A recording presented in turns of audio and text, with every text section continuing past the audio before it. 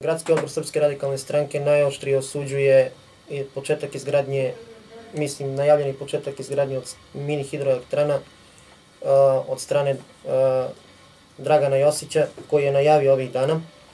I pozivamo sve nadležne organe da hitno reaguju i da ga u tome spreče.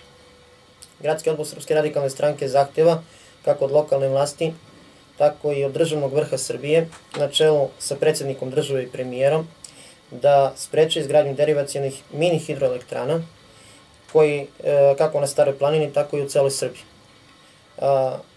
Jer njihovom izgradnjom i ugravanjem reka u cevi narušava se kompletan ekosistem e, i uništava se biljni životinski svet. I u oko reka, a i stanovnici ostaju bez vode.